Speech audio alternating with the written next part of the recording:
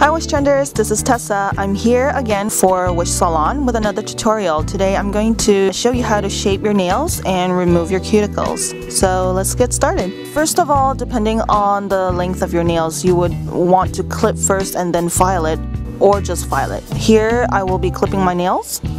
Actually clipping your nails is better because it does give you a rougher edge so that the filing is easier than just filing it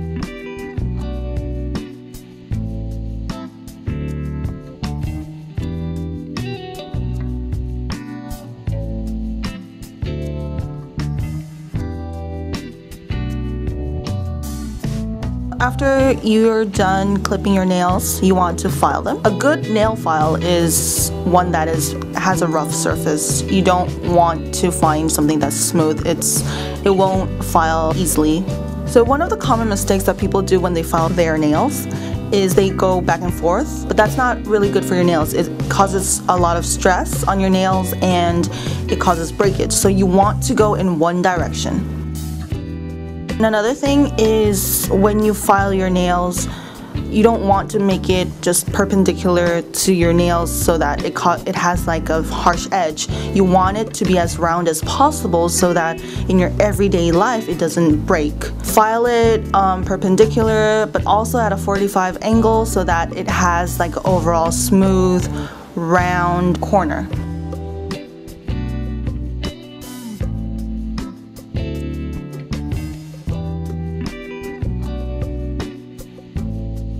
We're done shaping our nails, so I'm going to show you two ways to remove your cuticles. First is like a beginner amateur level or those that do not necessarily have a lot of cuticles.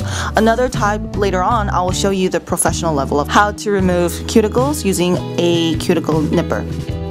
First of all, this is the most common way I treat my cuticles is using this cuticle softener pen. This is like a two-in-one system, so it's like an orange stick with the oil coming out of the pen, and it's really handy, so that's how I do it.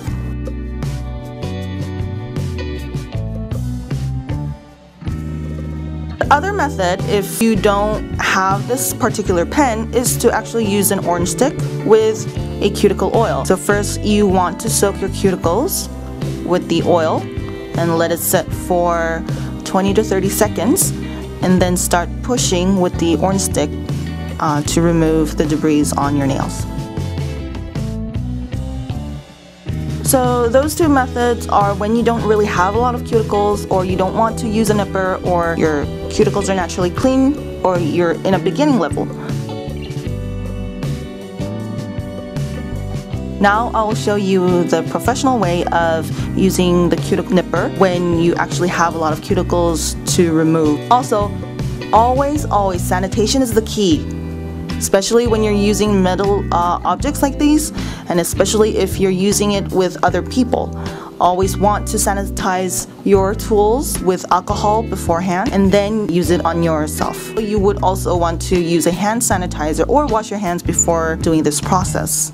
I am not a professional nail artist, but this is how I do it, and you can also do it for yourself and it's super safe. First, instead of using an orange stick, you can push with a metal pusher to push back all the cuticles, and then you want to use a cuticle nipper. Always, always, always have your cuticles soft before using the nipper so that you know where you're putting your nipper onto. You do not want to do this on a dry cuticle or else you may rip your skin. You're clipping only the excess cuticle does not necessarily have to be on your skin. You're not clipping the entire cuticle or else it may get infected. Oh, and here's another tip for your manicure routine. Oftentimes you have a tough skin around your nails. I don't have a lot of uh, tough skin, so I'm using my friend's here. She has a tough skin on her nail. When you want to remove that at home, instead of using a nipper, what you can do is put uh, cuticle oil on it first for it to soften.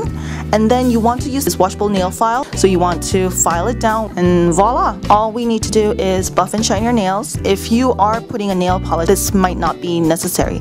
But if you want to just maintain it so you want to use a buffer that has a fine grained surface on one side and then a really really smooth shiner on the other side. So first you want to buff it up to even out the nail. And then after you buff it you want to use the shiner and then rub it until your nail shines. Your nail will shine even if you don't use a base or top coat. We're going to be using this lotion and oil. There are several ways of how to use these two products. First, you may want to just moisturize your hand or you can also mix the two together and just moisturize both your hand and your nails. Make sure when you're moisturizing your hand that you get those moisturizer really seeped into your cuticles and then use the oil particularly on your fingernails so that your cuticles are moisturized. So this is how you can give yourself a at-home manicure treatment.